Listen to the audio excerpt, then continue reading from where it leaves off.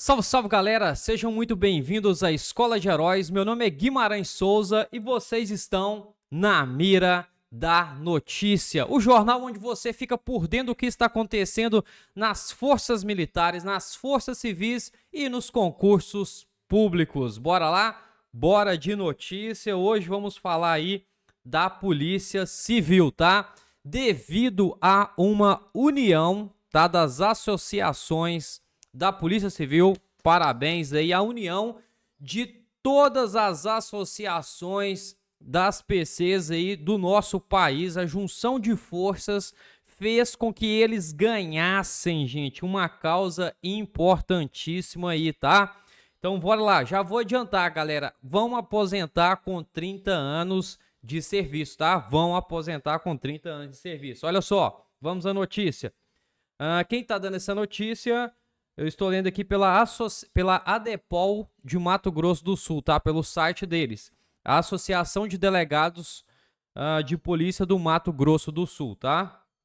Direito à aposentadoria especial integral aos policiais civis que ingressaram na atividade até 13 de novembro de 2019. Olha que massa. Supremo Tribunal Federal, por meio do julgamento do recurso extraordinário, proferiu uma decisão que garante direito à aposentadoria especial integral aos policiais civis que ingressaram na atividade policial até 13 de novembro de 2019.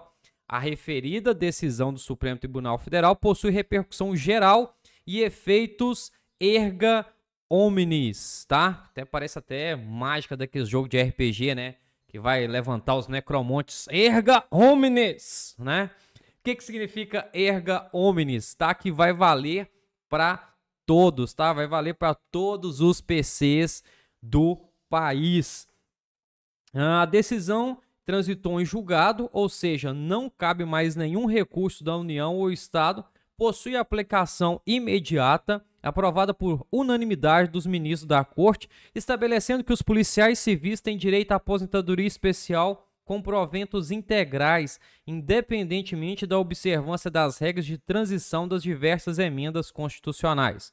Essa vitória histórica é fruto da mobilização e do esforço conjunto, esforço conjunto das entidades de classe representativas da Polícia Civil de todo o país. Uh, cabe destacar que os policiais civis que preenchem os requisitos para aposentadoria especial uh, devem ter 30 anos de contribuição, desde que conte pelo menos 20 anos de exercício de serviço em cargo de natureza estritamente policial, se homem, e 25 anos de contribuição, desde que conte pelo menos 15 anos de exercício em cargo de natureza estritamente policial, se mulher, tá? Se é, tiver esses requisitos aí, tem direito garantido ao cálculo de seus proventos com base na integralidade, tá? Olha que top. Essa conquista representa um marco para a categoria dos policiais civis, demonstrando o reconhecimento da importância dos desafios enfrentados por aqueles que dedicam suas vidas à proteção da sociedade. A ADEPOL do Mato Grosso do Sul reitera seu compromisso em acompanhar de perto todas as questões relacionadas aos direitos policiais civis e continuará atuando em defesa dos interesses da categoria. Show de bola demais, né, galera? Receber notícia desse tipo aí. Parabéns aí pela conquista a todos os policiais civis e bora também aí, né, as nossas associações aí dos militares também que né, mostram serviço também, mas né, agir com mais afinco aí para que né, consigamos também né, uma aposentadoria melhor, uma aposentadoria, quem sabe até voltar em uma aposentadoria de 30 anos, né? É isso aí. Tamo junto, galera.